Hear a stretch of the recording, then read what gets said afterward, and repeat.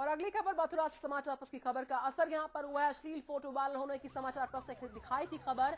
खबर दिखाया जाने के ठीक बाद नींद से जागा मथुरा प्रशासन। वृंदावन थाने में अज्ञात युवक के खिलाफ मुकदमा दर्ज हुआ है। मामले की जाँच में जुटी हुई है थाना। वृंदावन की पुलिस, कई परिवार खौफ के साय में जीने को मजबूर। बहन बेटियों की फ़ोटोज़ को एडिट कर कर अश्लील फ़ोटोज़ बनाने का यह पूरा मामला है और अश्लील फ़ोटोज़ को व्हाट्सएप और फेसबुक पर अपलोड करता था वायरल करता था यह युवक। इसके खिलाफ मुकदमा दर्ज हो गया। इस खबर को हमने प्रमुखता से दिखाया। उसके बाद प्रशासन की नींद टूटी।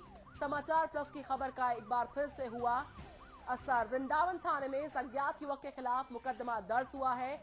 मामले की जाँच में जुटी है। थाना वृंदावन की पुलिस। बड़ी खबर, कई परिवार की महिलाएँ, बेटियाँ, बच्चियाँ, खौफ के साय में इस युवक की वजह से जीने को मजबूर थी।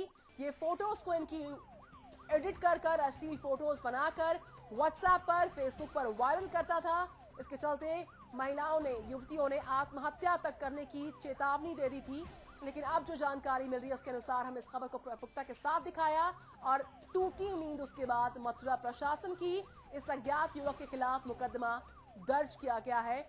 अश्लील फ़ोटो वायरल होने की समाचार प्लस ने खबर को प्रमुखता के साथ उठाया, प्रमुखता के साथ दिखाया था उसके बाद।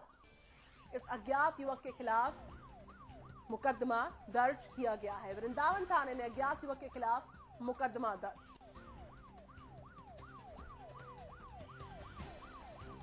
तो मामले की जाँच में जुट गई है थाना वृंदावन की पुलिस।